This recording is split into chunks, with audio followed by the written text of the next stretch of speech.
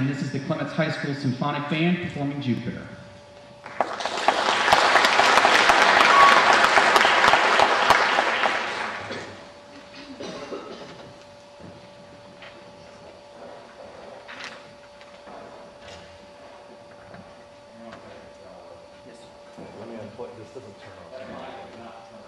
Okay.